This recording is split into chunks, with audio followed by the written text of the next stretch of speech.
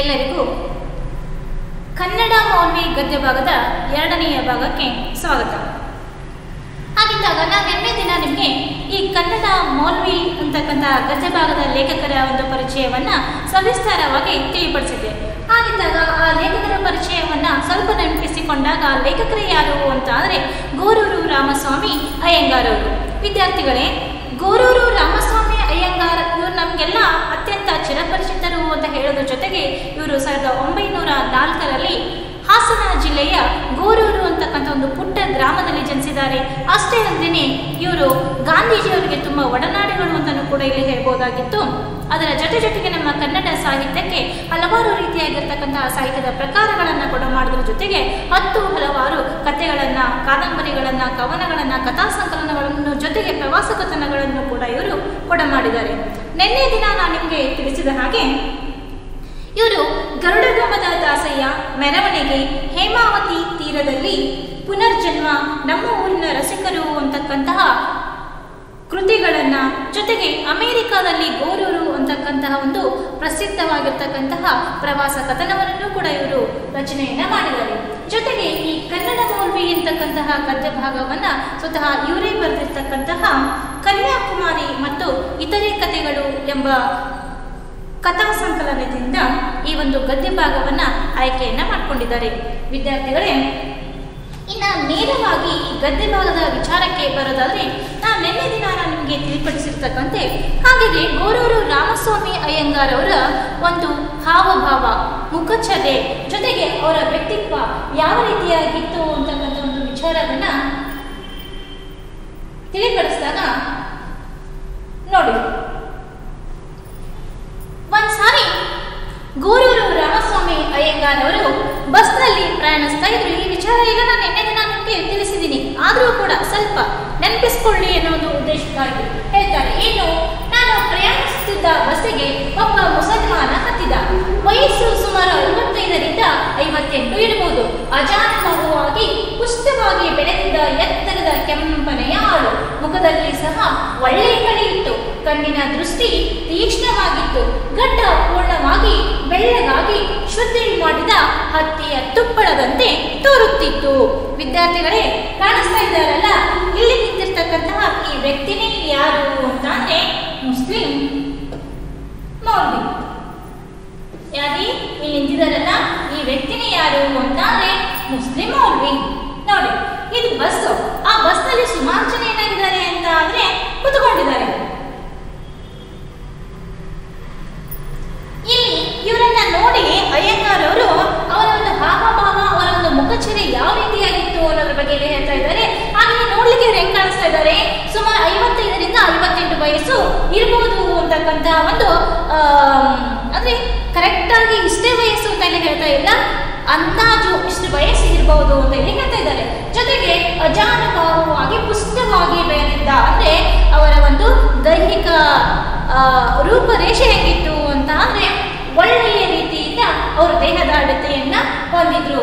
ಮುಖದಲ್ಲಿ ಸಹ ಒಳ್ಳೆಯ ಕಳೆ ಇತ್ತು. ನೋಡಿ ಅವ್ರ ಫೇಸ್ ನೋಡಿ ಮುಖ ನೋಡ್ರಿ, ಎಷ್ಟು ಸುಂದರವಾಗಿ ಕಾಣಿಸ್ತಾ ಇದ್ದಾರೆ. ಹೌದಾ? ಇಲ್ಲ, ಅವರ ಕಣ್ಣಿನ ದೃಷ್ಟಿನೂ ಕೂಡ ಏನಾಗಿರ್ತದೆ? ತೀಕ್ಷ್ಣವಾಗುತ್ತದೆ. ಗಡ್ಡ ಪೂರ್ಣವಾಗಿ ಬೆಳ್ಳಗಾಗಿ ನೋಡಿ ಇವರ ಗಡ್ಡವನ್ನ ನೋಡಿದಾಗ ಹೆಂಗದಲ್ಲಿ ಸಂಪೂರ್ಣವಾಗಿ ಬೆಳ್ಳಗಾಗಿ ಶುದ್ಧಿ ಮಾಡಿದ, ಆದರೆ ಆ ಹತ್ತಿಯಲ್ಲಿ ಕಸ ಇದ್ದಾಗ ಅದನ್ನು ತೆಗೆದಾಗ ಎಷ್ಟು ಶುದ್ಧವಾಗಿ ಕಾಣಿಸ್ತಲ್ಲ ಅಷ್ಟು ಶುದ್ಧಭರಿತವಾಗಿರ್ತಕ್ಕಂತಹ ಗಡ್ಡ ಇಲ್ಲಿ ಯಾರಿ? ಈ ಮುಸ್ಲಿಂ ಮೌಲ್ಯವರಲ್ಲಿ ಕಂಡುಬರ್ತಾ ಇದೆ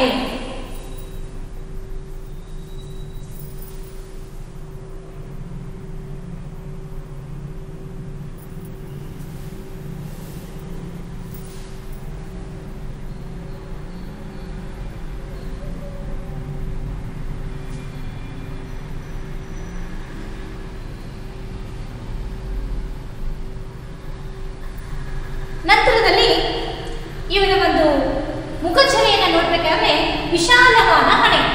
ನೋಡಿ ವಿಶಾಲ ಇದು ಇದನ್ನ ನಾವೇಂತ ಕರಿತೀವಿ? ಹಣೆ. ವಿಶಾಲವಾಗಿರ್ತಕ್ಕಂತಹ ಹಣೆ. ಜೊತೆಗೆ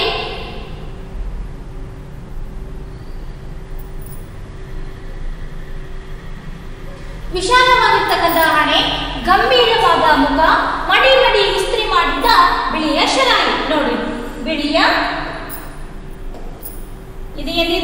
ಬಿಳಿಯ ಶರಾಯಿ ಮಡಿ ಮಡಿ ಬಿಸ ಅಂದ್ರೆ ಶುದ್ಧವಾಗಿ ತೊಳೆದು ಅದನ್ನು ಇಸ್ತ್ರಿ ಮಾಡಿರ್ತಕ್ಕಂತಹ ಬಿಳಿಯ ಶರಾಯಿ ಅಥವಾ ಇದನ್ನ ಕೋಟು ಅಂತಲೂ ಕೂಡ ಇಲ್ಲಿ ಕರೀತಾರೆ.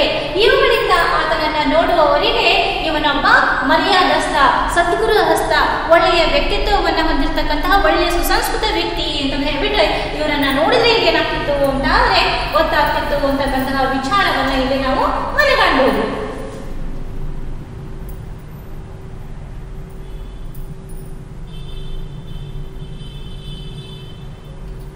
ಆತನನ್ನ ಅಂದ್ರೆ ಈ ಮೌಲ್ಯಯವರನ್ನ ಯಾರು ನೋಡಿದರೂ ಇನ್ನೂ ಐದು ಗಳಿಗೆ ನಿಂತು ನೋಡೋಣ ಎಂಬಂತೆ ಅವನ ಆಕೃತಿ ಇದ್ದರೂ ನನ್ನನ್ನು ಮತ್ತಷ್ಟು ಹೆಚ್ಚಾಗಿ ಅವನ ಕಡೆಗೆ ಆಕರ್ಷಿಸಿದ್ದು ಆ ಗೃಹಸ್ಥನ ಕೈಲಿದ್ದ ಒಂದು ದೊಡ್ಡ ಪುಸ್ತಕ ಆ ಪುಸ್ತಕವನ್ನ ನೋಡಿದ ಕೂಡಲೇ ಅದು ಕುಮಾರವ್ಯಾಸ ಭಾರತವಿರಬೇಕೆಂದು ನನಗೆ ಗೊತ್ತಾಯಿತು. ನೋಡಿ, ಇದನ್ನೆಲ್ಲ ಯಾರು ಹೇಳ್ತಾ ಇದ್ದಾರೆ ಅಂತ ಅಂದ್ರೆ ಲೇಖಕರಾಗಿರ್ತಕ್ಕಂತಹ ಗೋರೂರು ರಾಮಸ್ವಾಮಿ ಅಯ್ಯಂಗಾರ್ ಅವರೇ ಕನ್ನಡ ಮೌಲ್ಯವರನ್ನ ಉದ್ದೇಶಿಸಿ ಎಲ್ಲ ಒಂದು ವಿಚಾರವನ್ನ ಹೇಳ್ತಾ ಇದ್ದಾರೆ. ಹಾಗಾದ್ರೆ ಏನಂತ ಇವರನ್ನ ನೋಡಿದ್ರೆ, ಯಾರನ್ನ ಮೌಲ್ಯವರನ್ನ ನೋಡಿದ್ರೆ ಯಾರಿಗೆ ಆಗ್ಲಿ ಇನ್ನೂ ಸ್ವಲ್ಪ ಹೊತ್ತು ನಿಂತುಕೊಂಡು ಅವರನ್ನ ನೋಡ್ಬೇಕು, ಅವ್ರ ಜೊತೆ ಮಾತಾಡಬೇಕು ಅಂತಕ್ಕಂಥ ಒಂದು ಆಸೆ ಮನೋಭಾವನೆ ಇಲ್ಲಿ ಹುಡ್ತದೆ ಅಷ್ಟೇ ಅಲ್ಲದೆ ಆ ಮೌಲ್ಯವರ ಕೈಯಲ್ಲಿ ಒಂದು ಪುಸ್ತಕ ಇರ್ತದೆ ಹಾಗಾದ್ರೆ ಆ ಪುಸ್ತಕನೇ ಯಾವುದು ಅಂತ ಅಂದ್ರೆ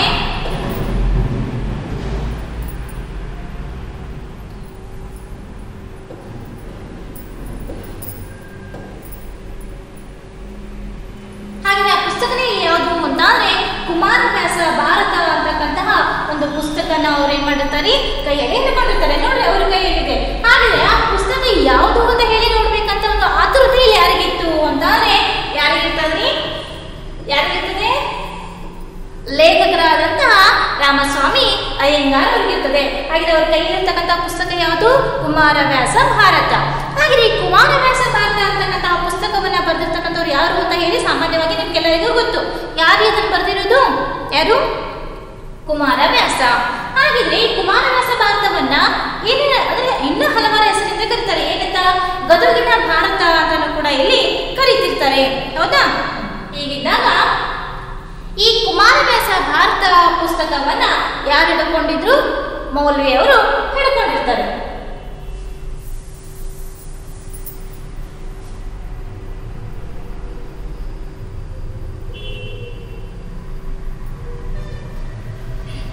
ಹದಿನಾರನೆಯ ಮುಸಲ್ಮಾನ್ ಮೌಲ್ವಿಯಂತೆಯೇ ಕಾಣುತ್ತಿದ್ದ ಇವನ ಕೈಯಲ್ಲಿ ಕುಮಾರವ್ಯಾಸ ಭಾರತವೇ ಅದು ಕುಮಾರವ್ಯಾಸ ಭಾರತವೇ ತಾನೇ ಎಂಬ ಕುತೂಹಲ ನನ್ನಲ್ಲಿ ಪೂರ್ತಿ ಉಂಟಾಗಿತ್ತು ನಾನು ಬಗ್ಗೆ ಆ ಪುಸ್ತಕವನ್ನ ನೋಡಿದೆ ಹೌದು, ನಿಜವಾಗಿಯೂ ಕುಮಾರವ್ಯಾಸ ಭಾರತವೇ.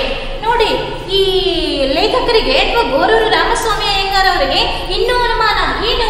ಹಾಗಾದ್ರೆ ಮೌಲ್ಯವರು ಹಿಡ್ಕೊಂಡಿರ್ತಕ್ಕಂಥ ಪುಸ್ತಕ ಯಾವ್ದಾಗಿರ್ಬೋದು? ಅದು ನಿಜವಾಗ್ಲೂ ನಾನು ಕುಮಾರವ್ಯಾಸ ಭಾರತ ಅಂತ ಹೇಳಿ ಅನ್ಕೊಂಡಿದ್ದೀನಿ. ಆದ್ರೆ ಅದು ನಿಜವಾಗ್ಲೂ ಕುಮಾರವ್ಯಾಸ ಭಾರತನೇ ಅಂತಕ್ಕಂಥ ಒಂದು ಅನುಮಾನ ಇಲ್ಲಿ ಯಾರನ್ನ ಕಾಣಲಿಕ್ಕೆ ಶುರು ಮಾಡ ಶುರು ಆಗ್ತದೆ ಅಂತ ಅಂದ್ರೆ ಲೇಖಕರನ್ನ ಕಾಣಲಿಕ್ಕೆ ಶುರು ಆಗ್ತದೆ. ಆದ್ರೂ ಕೂಡ ಅವ್ರು ಬಿಡಲ್ಲ.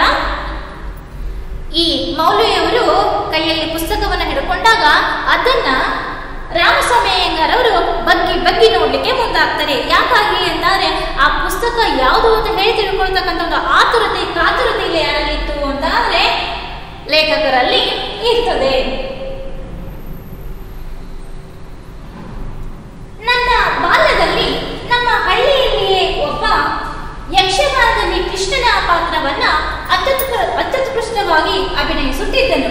ರಂಗಸ್ಥಳದಲ್ಲಿ ಬಂದು ನಂತರ ಅವನ ವೇಷವನ್ನು ವಾಕ್ಶುದ್ಧಿಯನ್ನ ನೋಡಿ ವೈದಿಕ ಮನೆತನದ ವೃದ್ಧ ಸ್ತ್ರೀಯರು ಸಹ ಮೈ ಮರೆತು ಕೃಷ್ಣ ಪರಮಾತ್ಮ ಕಾಪಾಡಪ್ಪ ಎಂದು ಕೈ ಮುಗಿದು ಬಿಡುತ್ತಿದ್ದರು. ನೋಡಿ ವಿದ್ಯಾರ್ಥಿಗಳೇ, ಈ ರಾಮಸ್ವಾಮಿ ಅಯ್ಯಂಗಾರ್ ಅವರಿಗೆ ಮತ್ತೆ ಬೇರೆ ವಿಚಾರ ಏನಲ್ಲಿ ನೆನಪಾಗ್ತದೆ.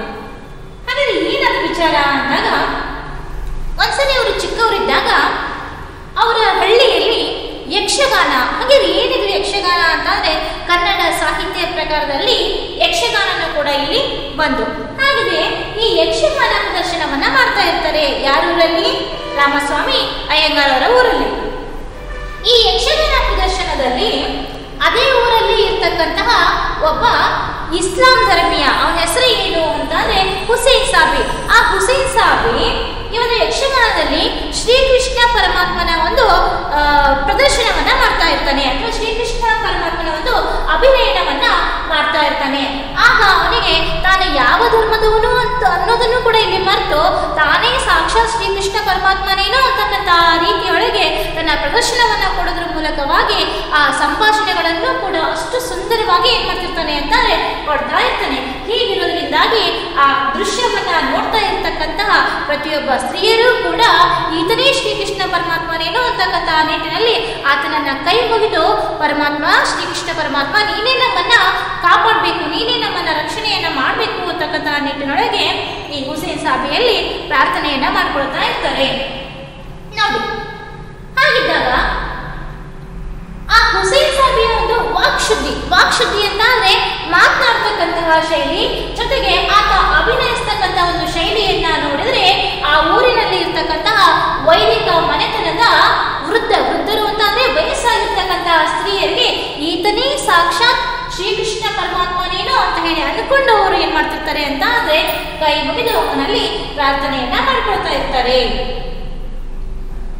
ಅನಂತರ ನಾವು ಕೃಷ್ಣ ಪರಮಾತ್ಮನ ಇವನ್ನ ಯಮ ಹೊಸಗೇರಿಯ ಹುಸೇನ್ ಸಾಬಿ ಎಂದರೂ ಸಹ ಆ ವೃದ್ಧೆಯರು ಹುಸೇನ್ ಹುಸೇನ್ ಸಾಬಿ ನಾವು ಕೈ ಮುಗಿದಿರುವುದು ತಲುಪುವುದು ಶ್ರೀಕೃಷ್ಣನಿಗೆ. ಇವನು ಯಾರಾದರೇನು?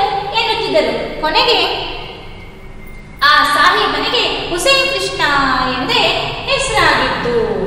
ನೋಡಿ ವಿದ್ಯಾರ್ಥಿಗಳೇ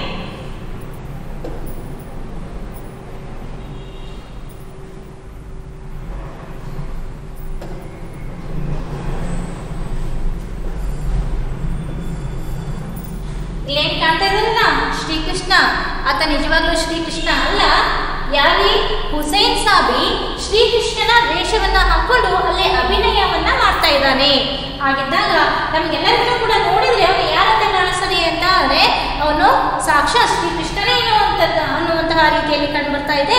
ಆದ್ರೆ ಅವನು ನಿಜವಾಗ್ಲೂ ಯಾರು ಅಂತ ಅಂದ್ರೆ ಶ್ರೀಕೃಷ್ಣನ ಅಭಿನಯನವನ್ನ ಮಾಡ್ತಾ ಇರ್ತಕ್ಕಂತಹ ಹುಸೇನ್ ಸಾಬಿ.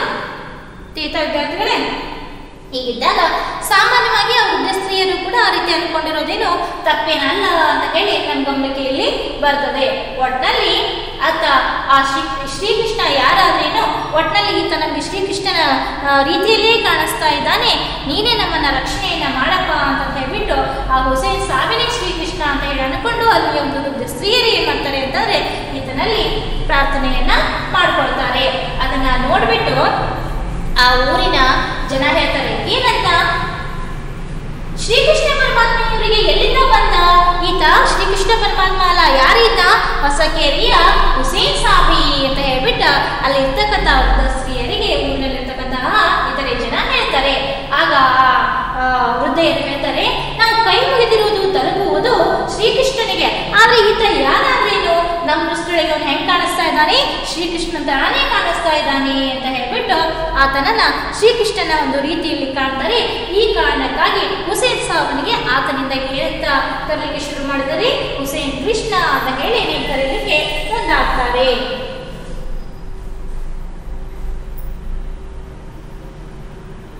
ನೋಡು.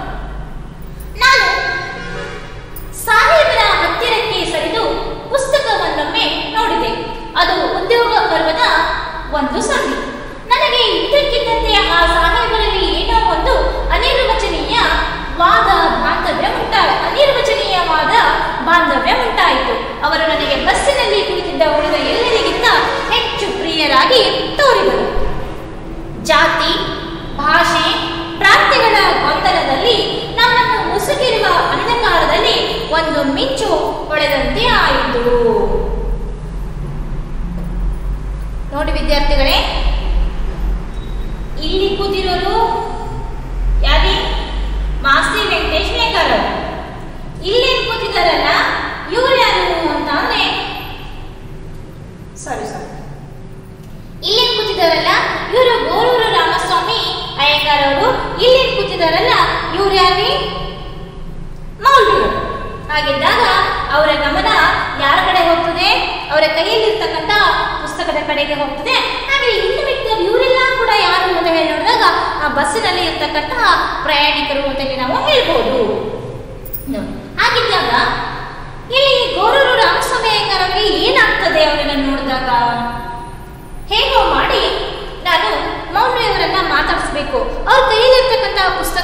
ಯಾರು ಅಂತ ಹೇಳಿ ತಿಳ್ಕೋಬೇಕು. ಏನೋ ಒಟ್ಟಿನಲ್ಲಿ ಅವರನ್ನ ನೋಡಿದ್ರೆ ಇವನು ಮನಸ್ಸಿನಲ್ಲಿ ಏನೋ ಒಂದು ರೀತಿಯಾಗಿರ್ತಕ್ಕಂಥ ಸಂತೋಷ, ಜೊತೆಗೆ ಅವರನ್ನ ಮಾತನಾಡಿಸ್ತಕ್ಕಂಥ ಒಂದು ಹಂಬಲ ಇಲ್ಲಿ ಯಾರಲ್ಲಿ ಉಂಟಾಗ್ತದೆ ಅಂತಾದ್ರೆ ಅಯ್ಯಂಗಾರ್ ಅವರಲ್ಲಿ ಉಂಟಾಗ್ತದೆ. ನೋಡಿ ಅದಕ್ಕೆ ಅವ್ರು ಹೇಳ್ತಾರೆ, ಹಾಗಿದ್ದಾಗ ನಾನು ಸಾಹೇಬರ ಹತ್ತಿರಕ್ಕೆ ಸರಿದು ಪುಸ್ತಕವನ್ನು ಪುಸ್ತಕವನ್ನೊಮ್ಮೆ ನೋಡಿದೆ. ಬಿಡ್ಲಿಲ್ಲ ರೀ, ಯಾರು? ಅಯ್ಯಂಗಾರ್ ಅವ್ರು ಬಿಡ್ಲಿಲ್ಲ. ಹೆಂಗೋ ಮಾಡಿ ಒಟ್ಟಿನಲ್ಲಿ ಆ ಮೌಲ್ಯಗಳ ಕೈಯಲ್ಲಿರ್ತಕ್ಕಂತಹ ಪುಸ್ತಕವೊಮ್ಮೆ ನೋಡ್ತಾರೆ, ಆ ಪುಸ್ತಕ ಯಾರಾಗಿರ್ತದೆ ಅಂತ ಉದ್ಯೋಗ ಪರ್ವದ ಒಂದು ಸಂಧಿ. ಅಂದರೆ ಕುಮಾರವ್ಯಾಸ ಭಾರತದ ಉದ್ಯೋಗ ಪರ್ವದ ಒಂದು ಸಂಧಿ. ಸಂಧಿ ಅಂತಂದ್ರೆ ಒಂದು ಭಾಗ ಅಂತ ಹೇಳಿ ಹೇಳ್ಬೋದು. ನನಗೆ ಇದ್ದಕ್ಕಿದ್ದಂತೆ ಆ ಸಾಹೇಬರಲ್ಲಿ ಏನೋ ಒಂದು ಅನಿರ್ವಚನೀಯವಾದ ಬಾಂಧವ್ಯ ಉಂಟಾಯಿತು. ಹಾಗಾದ್ರೆ ಇಲ್ಲಿ ಏನೋ ಗೊತ್ತಾಗಲಿಲ್ಲ. ಒಟ್ಟಿನಲ್ಲಿ ಈ ಅಯ್ಯಂಗಾರವರಿಗೆ ಮೌಲ್ಯವರ ಬಗ್ಗೆ ಏನೋ ಒಂದು ರೀತಿಯಾಗಿರ್ತಕ್ಕಂತಹ ಒಂದು ಉನ್ನತವಾಗಿರ್ತಕ್ಕಂತಹ ಶ್ರೇಷ್ಠವಾಗಿರ್ತಕ್ಕಂತಹ ಭಾವನೆ, ಗೌರವ ಉಂಟಾಗಲಿಕ್ಕೆ ಶುರು ಆಗ್ತದೆ. ಅನಿರ್ವಚನೀಯ ಅಂದ್ರೆ ಅವರನ್ನ ತಾನು ಯಾವ ಮಟ್ಟಕ್ಕೆ ಗೌರವ ಕೊಡಬೇಕು ಅಂದ್ರೆ ಗೌರವಕ್ಕೆ ನಿಲುಕಲಾರದಷ್ಟು ಎತ್ತರದಲ್ಲಿ ಯಾರಿದ್ರು ಅಂತ ಆದ್ರೆ ಈ ಮೌಲ್ವಿಗಳು ಇರ್ತಾರೆ. ಅಂತಹ ಒಂದು ಭಾವನೆಯಲ್ಲಿ ಯಾರು ಉಂಟಾಗ್ತದೆ ಅಂತ ಅಯ್ಯಂಗಾರ್ ಅವರಲ್ಲಿ ಉಂಟಾಗ್ತದೆ. ಹೀಗಾಗಿ ಅವರು ನನಗೆ ಬಸ್ಸಿನಲ್ಲಿ ಕುಳಿತಿದ್ದ ಉಳಿದ ಎಲ್ಲರಿಗಿಂತ ಹೆಚ್ಚು ಪ್ರಿಯರಾಗಿ ತೋರಿದರು ನೋಡಿ ಸಾಕಷ್ಟು ಜನ ಪ್ರಯಾಣಿಕರು ಇದ್ದಾರೆ ಇಲ್ಲಿದ್ದಾರೆ ಇಲ್ಲಿದ್ದಾರೆ ಮತ್ತೆ ಬಸ್ ತುಂಬಾನು ಇದ್ದಾರೆ ಆದ್ರೆ ಎಲ್ಲರನ್ನೂ ನೋಡ್ಬೋದಾಗಿತ್ತು ಅಯ್ಯಂಗಾರ ಹಾಗಾದ್ರೆ ಇವ್ರ ಕಡೆನೇ ಯಾಕೆ ಗಮನ ಹೋಯ್ತು ಅಂದ್ರೆ ಒಬ್ಬೊಬ್ಬರ ಆಸಕ್ತಿ, ಒಬ್ಬೊಬ್ಬರ ಅಭಿರುಚಿ ಯಾವ ರೀತಿಯಾಗಿರ್ತದಲ್ಲ ಆ ಕಡೆಗೆ ಅವರ ಮನಸ್ಸು ಏನಾಗಿರ್ತದೆ ಅಂತಾರೆ, ವಾಲ್ತಾ ಇರ್ತದೆ.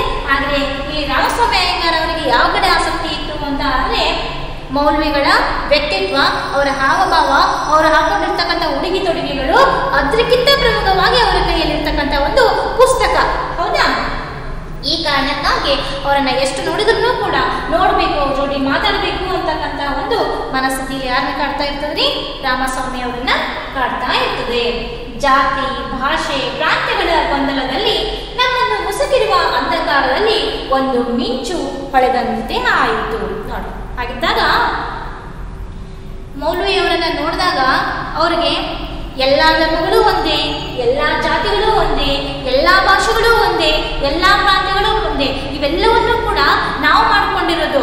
ಆದರೆ ಇವೆಲ್ಲವರಲ್ಲಿ ಭೇದ ಭೇದ ಅನ್ನೋದನ್ನೇ ಇಲ್ಲ. ಒಟ್ಟಾರೆ ಎಲ್ಲ ಸರ್ವ ಧರ್ಮಗಳು ಒಂದೇ ಎಂತಕ್ಕಂಥ ಒಂದು ನಿಲುವಿಗೆಯಾಗಿರ್ತಾರೆ ಅಂತಾರೆ ಅಯ್ಯಂಗಾರ್ ಅವರು ಬರ್ತಾರೆ. ಯಾವಾಗ ಮೌಲ್ವಿಯವರನ್ನ ನೋಡಿದಾಗ, ಜೊತೆಗೆ ಮೌಲ್ವಿಯವರ ಕೈಯಲ್ಲಿರ್ತಕ್ಕಂತಹ ಪುಸ್ತಕವನ್ನು ಕೂಡ ನೋಡಿದಾಗ ಅವನ ಮನೋಭಾವಕ್ಕೆ ಬರ್ತಾರೆ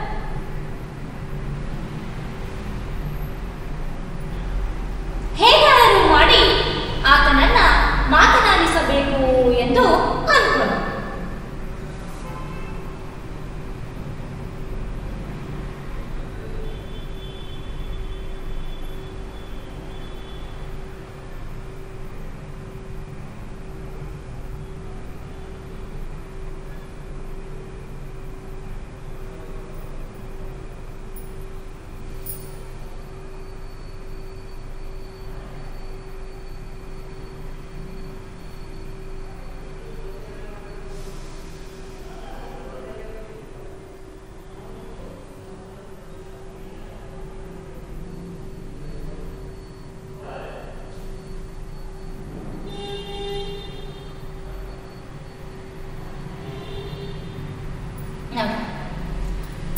ನೋಡಿ. ಅಯ್ಯಂಗಾರ್ ಅವರಿಗೆ ಹೇಗಾದರೂ ಮಾಡಿ ಮೌಲ್ವಿಯವರನ್ನ ಮಾತಾಡಿಸ್ಬೇಕು ಅಂತಕ್ಕಂಥ ಒಂದು ತುಡಿತಕ್ಕೆ ಒಳಗಾಗ್ತಾರೆ.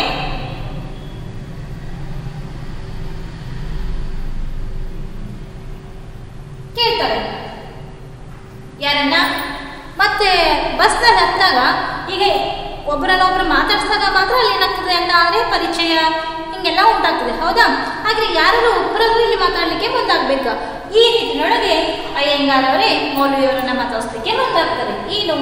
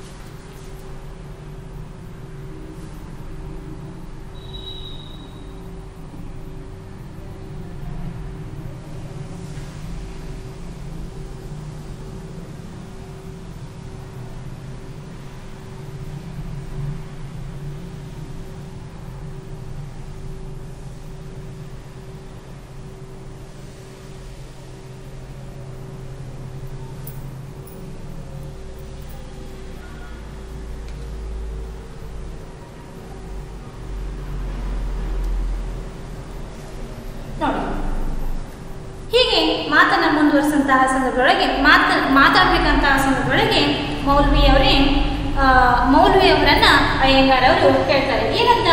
ನಿಮಗೆ ಕನ್ನಡ ಬರುತ್ತದೆಯೇ ಅಂತ ಹೇಳ್ಬಿಟ್ಟು ಕೇಳ್ತಾರೆ. ಆಗ, ಹೌದು, ನಾನು ಕಲಿತದ್ದು, ನಾನು ಕನ್ನಡವನ್ನೇ ಮೂರನೆಯ ತರಗತಿಯವರೆಗೆ ಕಲಿತೆ. ಅದರಿಂದಲೇ ನಾನು ಮೂವತ್ತು ವರ್ಷ ನಿಭಾಯಿಸಿಬಿಟ್ಟೆ. ನೋಡ್ರಿ ನಾನು ಕಲಿತಿದ್ದು ಕನ್ನಡ ಆದರೆ ನಾನು ಕೇವಲ ಮೂರನೇ ತರಗತಿಯವರಿಗೆ ಮಾತ್ರ ನಾನು ಏನು ಮಾಡಿದ್ದೀನಿ ಕನ್ನಡವನ್ನು ಕಲ್ತಿದ್ದೀನಿ. ಅದರಿಂದನೇ ನಾನು ಏನು ಮಾಡಿದೆ ಅಂತಂದ್ರೆ ಮೂವತ್ತು ವರ್ಷ ನನ್ನ ವೃತ್ತಿ ಜೀವನವನ್ನು ನಾನು ನಡೆಸಿದೆ ಅಂತಕ್ಕಂಥ ಒಂದು ವಿಚಾರವನ್ನು ಹೇಳ್ತಾರೆ. ಹಾಗಿದ್ದಾಗ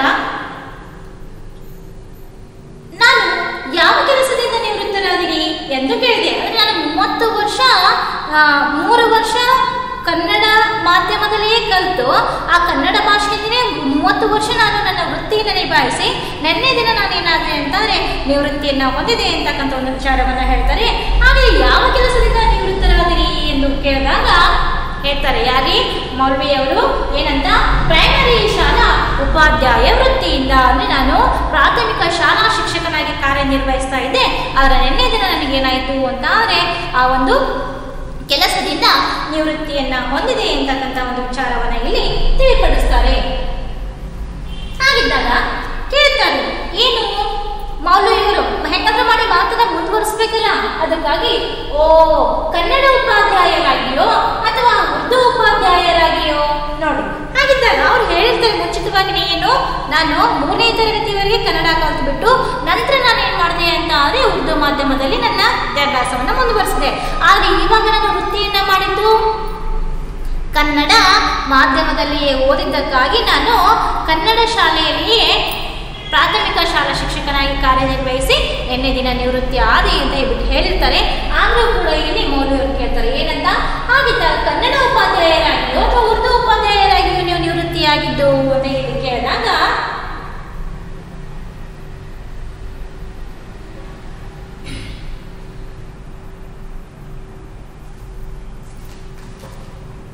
ಕನ್ನಡ ಉಪಾಧ್ಯಾಯರಾಗಿ ನೋಡಿ, ನಾನು ನಿವೃತ್ತಿಯಾಗಿದ್ದು ಕನ್ನಡ ಉಪಾಧ್ಯಾಯರಾಗಿ.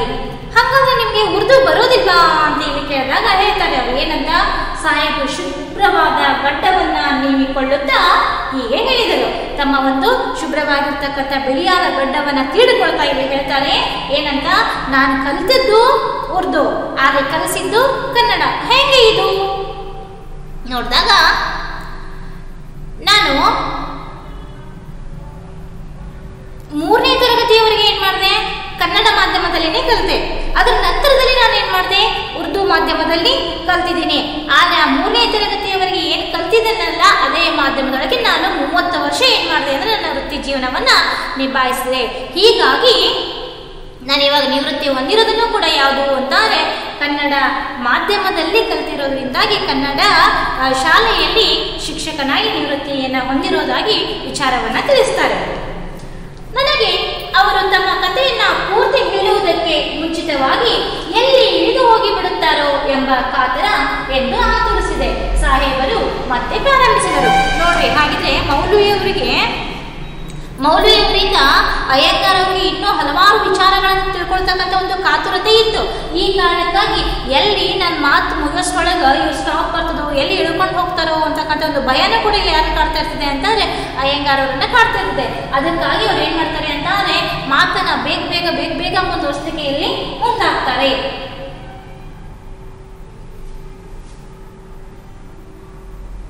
ನೋಡಿ. ಹೇಳಿ ಹೇಳಿ ಎಂದು ಆತರಿಸಿದೆ. ಸಾಹೇಬರು ಮತ್ತೆ ಪ್ರಾರಂಭಿಸಿದರು. ಹಾ ಹೇಳಿ ಹೇಳ್ರಿ ಬೇಗ ಬೇಗ ಹೇಳ್ರಿ. ಏನೇನಾಯ್ತು? ಹೆಂಗ್ ಕಲ್ತ್ರಿ? ಹೆಂಗ್ ಕಲ್ತ್ರಿ? ಇದನ್ನೆಲ್ಲ ಬೇಗ ಬೇಗ ಹೇಳ್ರಿ ಅಂತ ಹೇಳ್ಬಿಟ್ಟು ಅವಸರವನ್ನ ಮಾಡ್ಲಿಕ್ಕೆ ಮುಂದಾಗ್ತಾರೆ ಯಾಕೆ ಅವಸರ ಮಾಡ್ಲಿಕ್ಕೆ ಶುರು ಮಾಡಿದ್ದಾರೆ ಇವರು? ಯಾಕೆ ಅಂದ್ರೆ ಒಂದ್ ವೇಳೆ ಅವರು ತಮ್ಮ ವಿಚಾರವನ್ನೆಲ್ಲ ಹೇಳ್ಕೊಳ್ಳೋಷ್ಟರೊಳಗೆ ಅವರ ಒಂದು ನಿಲ್ದಾಣ ಬಂದು ಅವ್ರೇನಾದ್ರು ಇಳಿದು ಹೋಗ್ಬಿಟ್ರೆ ನನಗೆ ಅವರಿಂದ ಇಲ್ಲಿ ತಿಳ್ಕೊಳ್ಳಿಕ್ಕೆ ಸಾಧ್ಯ ಆಗಂಗಿಲ್ಲ ಅಂತಕ್ಕಂಥ ಒಂದು ವಿಚಾರಕ್ಕಾಗಿ ಅವ್ರು ಏನು ಮಾಡ್ತಾರೆ, ಬೇಗ ಬೇಗ ಹೇಳ್ರಿ ಅಂತ ಹೇಳ್ಬಿಟ್ಟು ಅವಸರವನ್ನು ಮಾಡ್ತಾರೆ. ಆಗ ನಮ್ಮ ಊರಿನಲ್ಲಿ ಒಂದು ಉರ್ದು ಶಾಲೆ ಇರಲಿಲ್ಲ. ನಮ್ಮ ತಂದೆಯವರಿಗೂ ಉರ್ದು ಓದಲು ಬರೆಯಲು ಬಾರದು. ನಮ್ಮ ಊರಿನಲ್ಲಿ ನಮ್ಮವರ ಇನ್ನೂ ಅನೇಕ ಸಂಸಾರಗಳಿದ್ದವು. ಆದರೆ ಅವರಾರಿಗೂ ಉರ್ದುವನ್ನು ಓದುವುದಕ್ಕಾಗಲಿ ಬರೆಯುವುದಕ್ಕಾಗಲಿ ಬರುತ್ತಿರಲಿಲ್ಲ. ನೋಡಿ ಮೌಲ್ಯವರು ತಮ್ಮ ವಿಚಾರವನ್ನು ಹೇಳ್ಕೊಳ್ಳಿಕ್ಕೆ ಮುಂದಾಗ್ತಾರೆ. ಏನಂತ? ಯಾರು ಇವರು? ಮೌಲ್ಯವರು ಹಾಗಿದ್ರೆ ಇವರು ಹೇಳ್ಕೊಳ್ತಾರೆ. ಏನಂತ? ನಮ್ದು ಊರು ನಮ್ದು ಪುಟ್ಟ ಊರು, ಸಣ್ಣ ಊರು. ಆ ಊರಿನೊಳಗೆ ನಮ್ಮ ಧರ್ಮಕ್ಕೆ ಸಂಬಂಧಪಟ್ಟಿರ್ತಕ್ಕಂತಹ ಹಲವಾರು ಮನೆಗಳು ಇದ್ವು. ಆದ್ರೆ ಆ ಊರಲ್ಲಿ ಏನಿರ್ಲಿಲ್ಲ ಅಂತಾನೆ ಉರ್ದು ಶಾಲೆ ಇರ್ಲಿಲ್ಲ. ನಮ್ಮ ತಂದೆಯವರಿಗೂ ಕೂಡ ಉರ್ದುನ ಓದ್ಲಿಕ್ಕೂ ಬರೀಲಿಕ್ಕೂ ಬರ್ತಾ ಇರಲಿಲ್ಲ. ಯಾಕ್ರಿ ಅವ್ರು ಮೂಲತಃ ಇಸ್ಲಾಂ ಧರ್ಮೀಯರು ಆಕ್ಚುಲಿ ಅವ್ರಿಗೆ ಬರಬೇಕಾಗಿತ್ತು, ಹೌದಾ? ಆದ್ರೂ ಕೂಡ ಅವ್ರ ತಂದೆನೂ ಕೂಡ ಕಲ್ತಿರ್ಲಿಲ್ಲ. ಮಗನೂ ಕೂಡ ನನಗೆ ಆಗೋದು ಬೇಡ. ಹಾಗಾದ್ರೆ ನನ್ನ ಮಗನಿಗಾದ್ರೂ ಉರ್ದು ಶಿಕ್ಷಣವನ್ನ ಕೊಡಿಸ್ಬೇಕು ಅಂತಕ್ಕಂಥ ಒಂದು ಬಯಕೆಯಿಂದಾಗಿ ಅವ್ರ ತಂದೆ ಮಗನಾಗಿರ್ತಕ್ಕಂಥ ಮೌಲ್ವಿಯವರಿಗೆ ಉರ್ದು ಶಿಕ್ಷಣವನ್ನು ಕೊಡಿಸ್ಲಿಕ್ಕೆ ಮುಂದಾಗ್ತಾರೆ. ಆದರೆ ಊರಲ್ಲಿ ಅಂತ ಅಂತಂದ್ರೆ ಉರ್ದು ಶಾಲೆ ಇರಲಿಲ್ಲ. ನಮ್ಮೂರಿನಲ್ಲಿ ನಮ್ಮ ಇನ್ನೂ ಅನೇಕ ಸಂಸಾರಗಳಿದ್ದವು. ನೋಡಿ ಎಲ್ಲ ಏನಾಗಿತ್ತು ಅಂತ ಅಂದ್ರೆ ಇಸ್ಲಾಂ ಧರ್ಮೀಯರಿಗೆ ಸಂಬಂಧಪಟ್ಟಿರ್ತಕ್ಕಂತಹ ಒಂದು ಓಣಿ ಬೀದಿ ಅಂತ ಹೇಳ್ತೀವಲ್ಲ, ಹಾಗೆ ಸುಮಾರು ಜನ ಅಲ್ಲಿ ವಾಸವನ್ನ ಮಾಡ್ತಾ ಇರ್ತಾರೆ. ಆದ್ರೆ ಅವರ ಯಾರಿಗೂ ಓದುವುದಕ್ಕಾಗಲಿ, ಬರೆಯುವುದಕ್ಕಾಗಲಿ ಬರ್ತಿರ್ಲಿಲ್ಲ ನೋಡ್ರಿ ಅಲ್ಲಿರ್ತಕ್ಕಂಥವ್ರಿಗೆ ಯಾರಿಗೂ ಕೂಡ ಉರ್ದು ಓದಕ್ಕಾಗ್ಲಿ, ಬರೆಯಕ್ಕಾಗ್ಲಿ ಬರ್ತಾ ಇರಲಿಲ್ಲ. ಆರು ಮೈಲಿ ದೂರದ ಹಳ್ಳಿಯಲ್ಲಿ ಒಂದು ಉರ್ದು ಶಾಲೆ ಇತ್ತು. ಅಲ್ಲಿಯ ಉಪಾಧ್ಯಾಯರು ವಾರದಲ್ಲಿ ಎರಡು ದಿನ ಹಾಗೆ ಆಯವಾರ, ಶನಿವಾರ ಮತ್ತು ಭಾನುವಾರ ನಮ್ಮ ಮನೆಗೆ ಬಂದು ನನಗೆ ಉರ್ದು ಪಾಠವನ್ನ ಹೇಳುವಂತೆ ನಮ್ಮ ತಂದೆ ಗೊತ್ತು ಮಾಡಿದ್ದರು. ಆ ಉಪಾಧ್ಯಾಯರು ಬುದ್ಧಿವಂತರು, ನಾನು ಉರ್ದುವನ್ನು ಬೇಗ ಬೇಗ ಕಲಿತೆ ಎಂದರು ನೋಡಿ ಏನಾಯ್ತ್ರಿ? ಅವ್ರ ಊರಲ್ಲಿ ಉರ್ದು ಶಾಲೆ ಇರಲಿಲ್ಲ. ಈ ಕಾರಣಕ್ಕಾಗಿ ಅವ್ರ ಊರಿಂದ ಸುಮಾರು ಎಷ್ಟು ಕಿಲೋಮೀಟರ್? ಆರು ಮೈಲಿ ದೂರದಲ್ಲಿ ಏನಾಗಿತ್ತು ಅಂತ ಆದ್ರೆ, ಬೇರೆ ಒಂದು ಊರಿತ್ತು ಆ ಊರಲ್ಲಿ ಏನಾಗಿತ್ತು ಅಂತ ಆದ್ರೆ ಉರ್ದು ಶಾಲೆ ಇತ್ತು. ಹಾಗಿದ್ರೆ ತಮ್ಮ ಊರಿಂದ ಆರು ಮೈಲಿ ದೂರದ ಊರಿಗೆ ಅವ್ರಿಗೆ ಬರ್ಲಿಕ್ಕೆ ಸಾಧ್ಯ ಆಗ್ತಾ ಇರಲಿಲ್ಲ. ಈ ಕಾರಣಕ್ಕಾಗಿ ಅವ್ರು ಏನ್ ಮಾಡಿದ್ರು? ತಂದೆ ಏನ್ ಮಾಡಿದ್ರು ಅಂತ ಆದ್ರೆ, ಆ ಆರು ಮೈಲಿ ಇರ್ತಕ್ಕಂತಹ ಒಬ್ಬ ಉರ್ದು ಶಿಕ್ಷಕರನ್ನ, ಆ ಶಾಲೆಯಲ್ಲಿ ಇರ್ತಕ್ಕಂಥ ಉರ್ದು ಶಿಕ್ಷಕರನ್ನ ವಾರದಲ್ಲಿ ಎರಡು ದಿನ ನೀವೇ ನಮ್ಮ ಮನೆಗೆ ಬಂದು ನಮ್ಮ ಮಗನಿಗೆ ಏನ್ ಮಾಡಬೇಕು ಅಂತಂದ್ರೆ ಉರ್ದು ಪಾಠವನ್ನ ಹೇಳ್ಕೊಡ್ಬೇಕು ಅಂತಕ್ಕಂತಹ ಒಂದು ವಿಚಾರವನ್ನ ಶಿಕ್ಷಕರಿಗೆ ಕೇಳಿಕೊಂಡಾಗ ಆಗ ಅವರು ಅದನ್ನ ಒಪ್ಕೊಂಡು ಏನ್ ಮಾಡಿದ್ರು ಅಂತಾನೆ ಆ ಉಪಾಧ್ಯಾಯರೇ ಮನೆಗೆ, ಮೌಲ್ವಿಯವರ ಮನೆಗೆ ಬಂದು ಅವರಿಗೆ ಉರ್ದು ಪಾಠವನ್ನ ಹೇಳಲಿಕ್ಕೆ ಮುಂದಾದ್ರು. ಆದರೆ ಮೌಲ್ವಿಯವರು ಬುದ್ಧಿವಂತರಾಗಿರೋದ್ರಿಂದಾಗಿ ಬೇಗ ಬೇಗ ಪಾಠವನ್ನ ಅವರು ಕಲ್ತ್ಕೊಳ್ಳಿಕ್ಕೆ ಮುಂದಾಗ್ತಾರೆ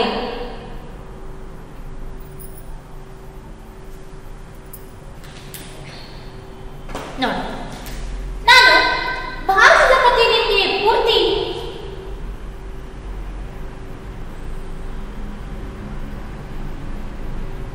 ನಾನು ಭಾರತದ ಕಥೆ ನಿಮಗೆ ಪೂರ್ತಿ ಒಪ್ಪುತ್ತದೆಯೇ ನಿಮ್ಮ ಧರ್ಮ ನಂಬಿಕೆಗೆ ವಿರೋಧವಾದುದು ಅದರಲ್ಲಿ ಏನೂ ಇಲ್ಲವೇ ಎಂದು ಕೇಳಿದೆ ಯಾಕಂತ ಕೇಳ್ತಾರೆ ಅವರು ಯಾಕೆಂದ್ರೆ ಮೌಲ್ವಿ ಅವರ ಕೈಯಲ್ಲಿ ಯಾವ ಪುಸ್ತಕ ಇರ್ತದೆ, ಕುಮಾರವ್ಯಾಸ ಭಾರತ ಪುಸ್ತಕ ಇರ್ತದೆ, ಮತ್ತು ಅದೇ ವಿಚಾರವಾಗಿ ಇವರು ಮಾತಾಡಬೇಕು, ಹೌದಾ?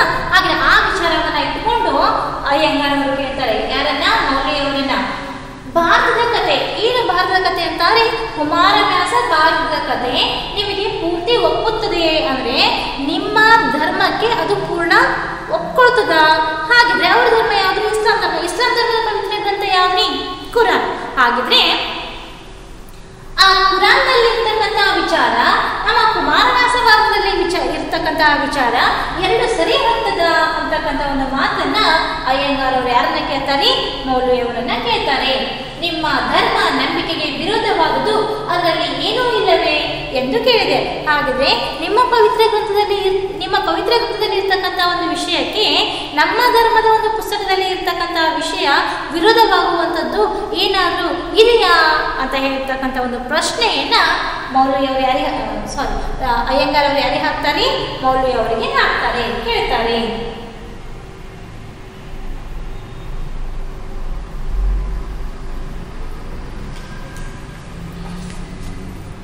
ಆಗ ನೋಡಿ, ನಾನು ಕಥೆ ನಿಮಗೆ ಪೂರ್ತಿ ಒಪ್ಪುತ್ತದೆಯೇ? ನಿಮ್ಮ ಧರ್ಮ ನಂಬಿಕೆಗೆ ವಿರೋಧವಾದುದು ಅದರಲ್ಲಿ ಏನೂ ಇಲ್ಲವೇ ಎಂದು ಕೇಳಿದೆ.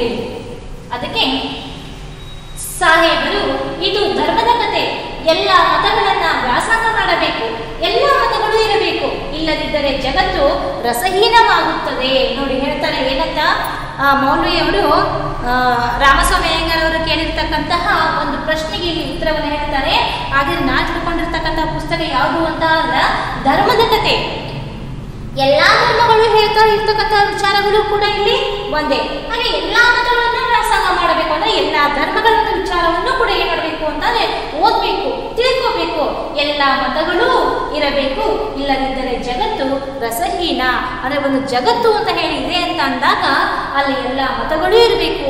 ಎಲ್ಲ ಧರ್ಮಗಳೂ ಇರಬೇಕು. ಎಲ್ಲ ಜಾತಿಗಳೂ ಇರಬೇಕು. ಜೊತೆಗೆ ಅವೆಲ್ಲವೂ ಕೂಡ ಏನಾಗಿರಬೇಕು ಅಂತಾರೆ? ಸರ್ವ ಧರ್ಮ ಸಮನ್ವಯತೆಯಿಂದ ಕೂಡಿರಬೇಕು ಅಂತಕ್ಕಂಥ ಒಂದು ನಿಲುವನ್ನ ಯಾರು ಕೊಡ್ತಾರೆ ಅಂತಂದ್ರೆ ಮೌಲ್ವಿಯವರು. ಮೌಲ್ವಿಯವರು ರಾಮಸ್ವಾಮಿ ಅಯ್ಯಂಗಾರ್ ಅವರಿಗೆ ಹೇಳ್ತಾರೆ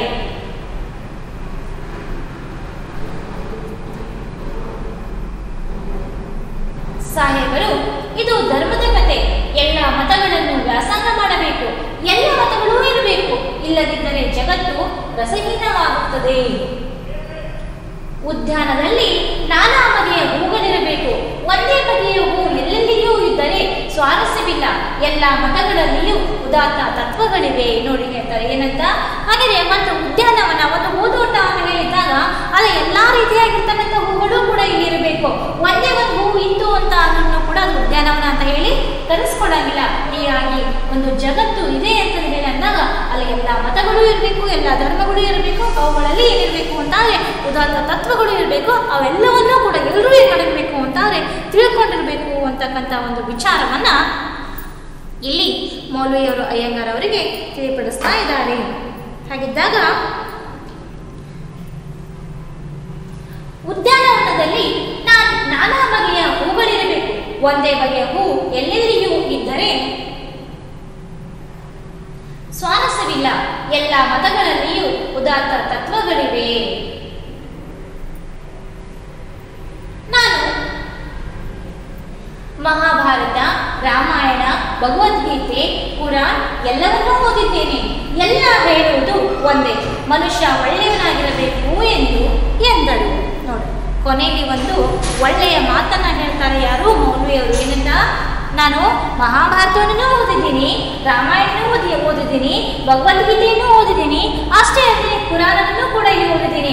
ಆದರೆ ಎಲ್ಲ ಹೇಳೋದನ್ನು ಕೂಡ ಇಲ್ಲಿ ಬಂದೆ ಏನು ಅಂದರೆ ಮನುಷ್ಯ ಒಳ್ಳೆಯವನಾಗಿರಬೇಕು ಅಂತ ಹೇಳಿಬಿಟ್ಟು ಹೊರತಾಗಿ ಯಾವ ಧರ್ಮದಲ್ಲಿಯೂ ಇನ್ನೊಂದು ಧರ್ಮವನ್ನು ಅಲ್ಲಗಳಿರ್ತಕ್ಕಂತಹ ವಿರೋಧವಾಗಿರ್ತಕ್ಕ ಯಾವ ವಿಚಾರಗಳೂ ಕೂಡ, ಯಾವ ಪವಿತ್ರ ಗ್ರಂಥಗಳಲ್ಲಿಯೂ ಕೂಡ ಇಲ್ಲ ಅಂತಕ್ಕಂಥ ಒಂದು ಸ್ಪಷ್ಟವಾದ ನಿಲುವನ್ನು, ವಿಚಾರವನ್ನು ಯಾರು ಕೊಡ್ತಾರೆ ಅಂತಂದರೆ ಮೌಲ್ವಿಯವರು ಅಯ್ಯಂಗಾರ್ ಅವರಿಗೆ ತಿಳಿಪಡಿಸ್ತಾರೆ. ವಿದ್ಯಾರ್ಥಿಗಳೇ, ಇನ್ನ ನಾಳಿನ ತರಗತಿಯಲ್ಲಿ ಮುಂದೆ ಏನಾಗ್ತದೆ ಅಂತಕ್ಕಂಥ ಒಂದು ವಿಚಾರವನ್ನ ಇಲ್ಲಿ ನಾವು ತಿಳ್ಕೊಳ್ಬೋದು ತಿಳ್ಕೊಳ್ಳೋಣ. ಹಾಗಿದ್ದಾಗ, ನೀವು ಈವರೆಗೂ ಕೂಡ ಈ ಗದ್ಯ ಭಾಗದಲ್ಲಿ ಲೇಖಕರ ಪರಿಚಯವನ್ನ ಜೊತೆಗೆ ಈ ಮೌಲ್ವಿಯವರು ಜೊತೆ ಹಾಗೂ ಅಯ್ಯಂಗಾರವರ ಒಂದು ಮಧ್ಯೆ ನಡೆದಿರ್ತಕ್ಕಂಥ ಸಂಭಾಷಣೆಯ ಹಲವಾರು ವಿಚಾರಗಳನ್ನು ತಿಳ್ಕೊಂಡ್ರಿ. ವಿದ್ಯಾರ್ಥಿಗಳು ಇವಾಗ ನೀವು ಏನು ಮಾಡಬೇಕು ಅಂತ ಅಂದರೆ ಲೇಖಕರ ಪರಿಚಯದ ಮೇಲೆ ಜೊತೆಗೆ ಆ, ಮೌಲ್ವಿಯವರು ಹಾಗೂ ಅಯ್ಯಂಗಾರವರ ಮಧ್ಯೆ ನಡೆದಿರ್ತಕ್ಕಂಥ ಸಂಭಾಷಣೆಯ ಆಧಾರದ ಮೇಲೆ ಸುಮಾರು ಒಂದು ಇಪ್ಪತ್ತರಿಂದ ಇಪ್ಪತ್ತೈದು ಒಂದು ಮತ್ತು ಎರಡು ಅಂಕದ ಪ್ರಶ್ನೆಗಳನ್ನು ತೆಗೆದುಬಿಟ್ಟು ಅದಕ್ಕೆ ಉತ್ತರವನ್ನು ಕೂಡ ಇಲ್ಲಿ ಬರೀರಿ. ಜೊತೆಗೆ ಲೇಖಕರ ಪರಿಚಯ ಪರಿಚಯವನ್ನು ವಾಕ್ಯ ರೂಪದಲ್ಲಿ ಬರೀತಕ್ಕಂಥ ಒಂದು ಅಭ್ಯಾಸವನ್ನು ಕೂಡ ನೀವು ಇಲ್ಲಿ ಮಾಡಿ ಅಂತ ಇಲ್ಲಿ ಹೇಳ್ತಾ ಇಂದಿನ ಈ ಒಂದು ತರಗತಿಯನ್ನು ಮುಗಿಸ್ತಾ ಇದ್ದೀನಿ